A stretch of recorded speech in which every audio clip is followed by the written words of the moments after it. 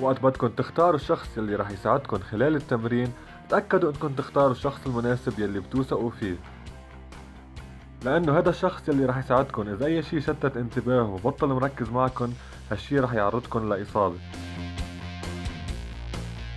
هذا الشخص في يكون صديقك المقرب أو مدربك الخاص.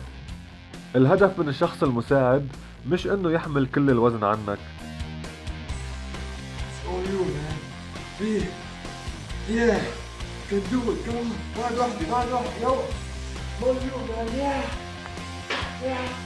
الهدف هو إنه يساندك ويكون موجود معك إذا صار شيء غلط حتى يحافظ على سلامتك خلال التمرين. وكمان الشخص المساعد بحفزك وبيخليك تطلع كل قدراتك خلال التمرين.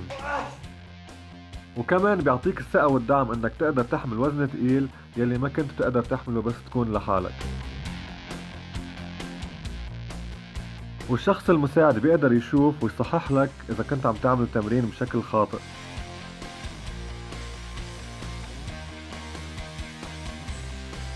ما تتردد تطلب المساعدة بس بنصحك تطلبها بس خلال التمرين أحسن ما هيك يصير فيك.